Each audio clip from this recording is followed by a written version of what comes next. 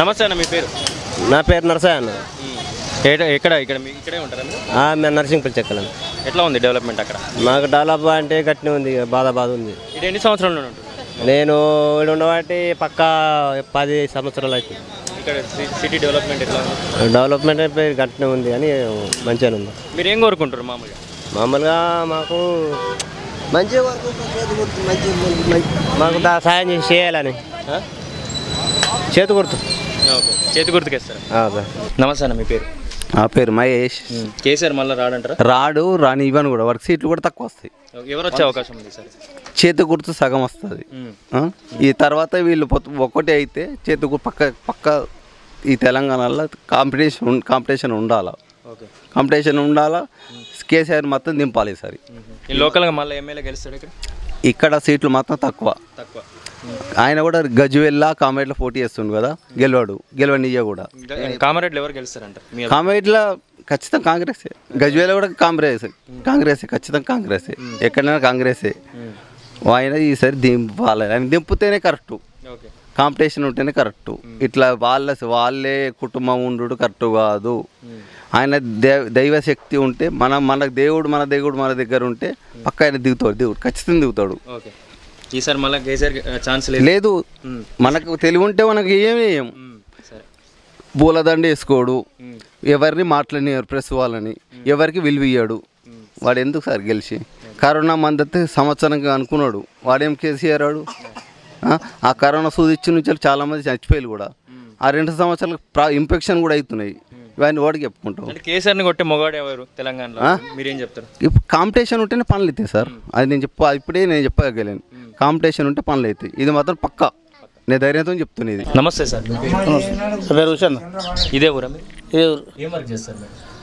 ఈ ఎంఆర్కి వ్యవసాయం. వ్యవసాయం చేస్తున్నారు. మీకు రైతు బంధు వస్తుందా?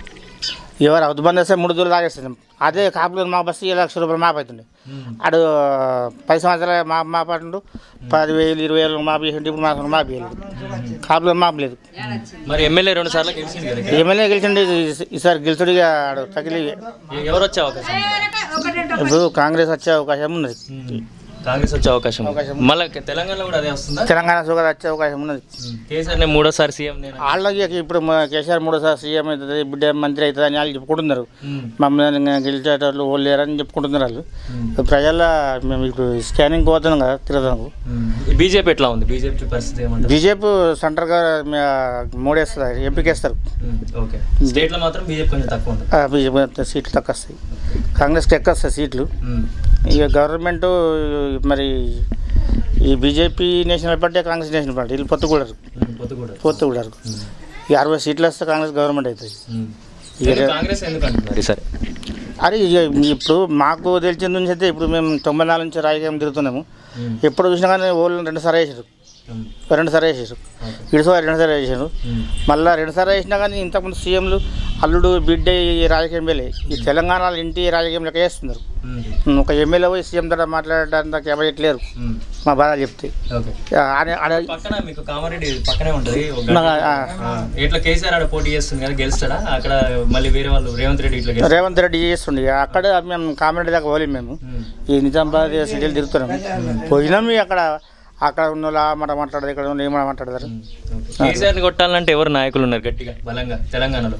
తెలంగాణ రేవంత్ రెడ్డి ఉన్నాడు. ఇక. రేవంత్ రెడ్డి. రేవంత్ రెడ్డి కొట్టారంటే నమస్తే కాక మీ పేరు? స్థాయిలో ఇదే ఊరా మీది?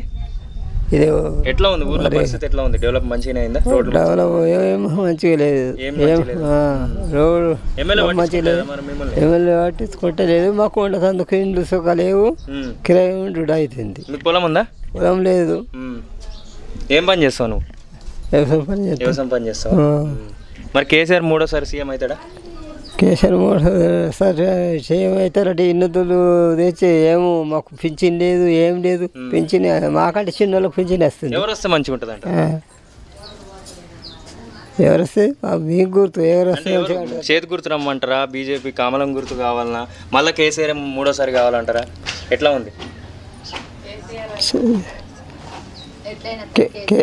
కేసీఆర్ కేసీఆర్. మళ్ళీ వస్తాడు.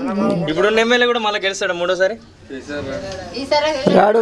ఎవరు వస్తారు మరి? ఊరు ఇటు సైడ్ చేతి గురిదే చేతి గుర్తు వస్తుంది ఇక్కడ భూపతి రెడ్డి? ఆ.